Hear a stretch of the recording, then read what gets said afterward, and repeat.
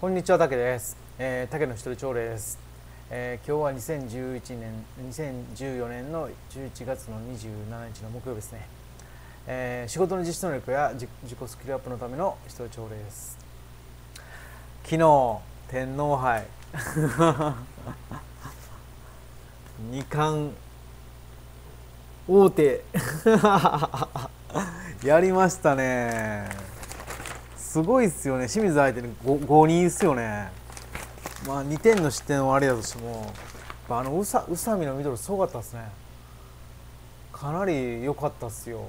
あの見ましたけど結構ペナルティーエリアの結構結構の距離から結構低めのシュートを打ったんですけどこれはもうとりあえず2冠はいけそうですね。まあもちろん相手は次は山形ですよね。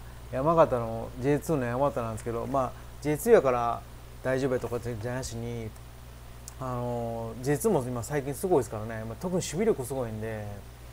ただえー、っとまあガンバが今乗ってるっていうのもあるしえー、っと J2 の試合多いでしょう。試合数がかなり多いんで。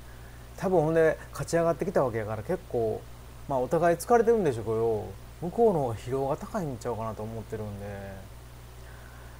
なんとかいけそうな感じですよね。まあまああ、まあ、全然油断はできへんですけどね。今の調子やったらいけそうなんで。ほんでもうトーナメントなんでいやでも向こうも攻めなダメじゃないですか。あの山形自体も攻めなダメなんで攻めないと勝てないんで。なのでお互い攻め出したらガンマの方が有利やと思うんでかなり期待できますね。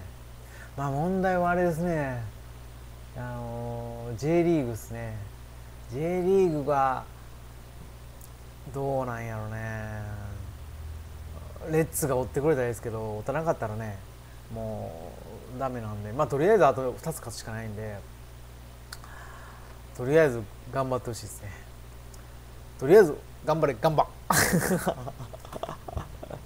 えー、そしたら、えーと、竹の人条例ですが、えーと、昨日は動画の準備と、えー、ブログを 4本作るだけできましたね。あとちょっとできなかったです。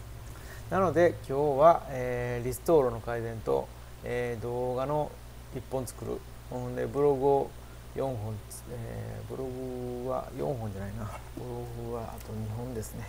ブログは2本ですね。2本作る。で小規模ヘアサロンの集客のブログの仕上げですね。